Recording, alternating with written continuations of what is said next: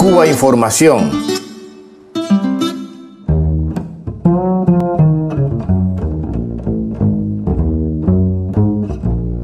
A pesar de la política de recortes en el gasto público de la administración de Donald Trump, el Congreso de Estados Donald Trumpen administrazioan gastu publikoan murrizketak egiteko politika garatzen ari bada ere, Amerikaetako Estatu Batuetako Kongresuak onartu ditu datorren urte fiskalerako hogei milioi dolar Venezuelako gobernuaren kontrako taldeentzat eta amabos milioi kubako disidentzia deritzonarentzat. Beste bos milioi Nikaraguako oposizioko taldeentzat izango dira. Horrez gain, Marti irratia eta telebista propagandakateek hogeita bederatzi milioi jasoko dituzte. Zenbateko horiek guztiak, usait eta nederako dagoeneko onarturiko funtzei batuko zaizkie.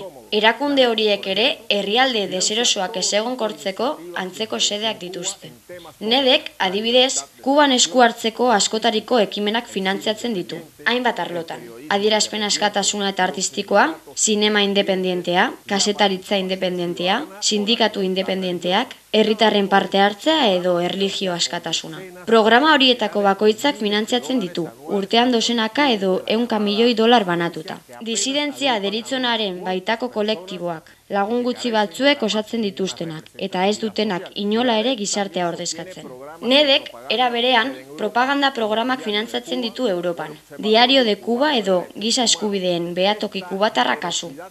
Funtzak banatzeko eskusabaltasun hori txalotu egin dute Kubako eta Estatu Batuetako muturreko eskuinak, zeinak, jakina, gehiago eskatu duen. Inspire America Foundation erakundeak beste hamar ekimen proposatu dizkio Donald Trumpi. Kubako erregimena setiatzeko. Itzez itzesana. Besteak beste, Obama konarturiko malgutzen neurri guztiak kentzea eta Kuba berriz ere herrialde terroristen zerrendan sartzea. Ekimenak blokeo handiagoa esartzeko eta kubatarren sufrimenduareagotzeko nazioarteko egunkarietan oraindik orrialde osoak dituztenen babesa eta sinadura ditu. Bai eta ziako agente hoi Carlos Alberto Montanerrek bezala, azterketa politikoa egiteko gune finko eta esklusiboa ere ikusleko puru handiko kanaletan, CNN en kasu. Como CNN.